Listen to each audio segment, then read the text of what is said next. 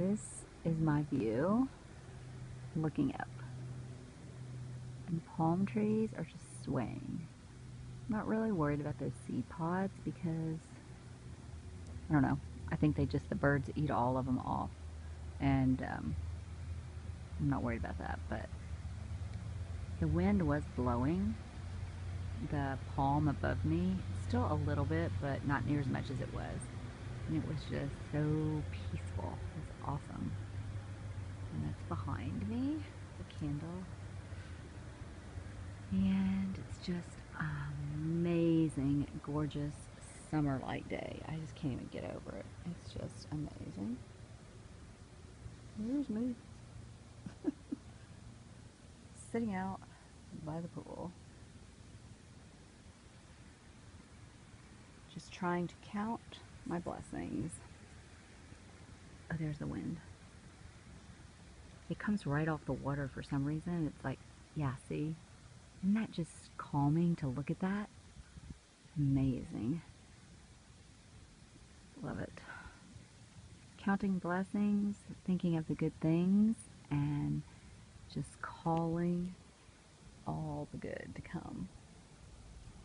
And brushing off all the negative because really good things are coming.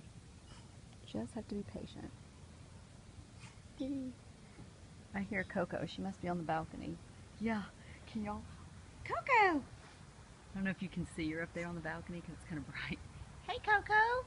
What you doing? Let me walk over there. Coco! Coco, what you doing? Coco! Come here. Coco. Hey. Coco.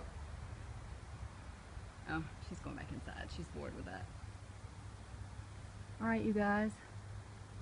Much, much, there's where I'm lighting.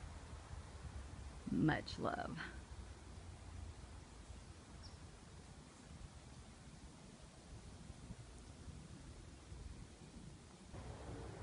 Well, there's my shadow. I don't know. Can't really. Peace.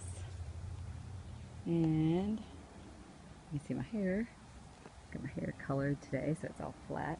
So I love to, love to dry flat. Anyway, you guys, much love, and going to dinner tonight with my daughter, Catherine.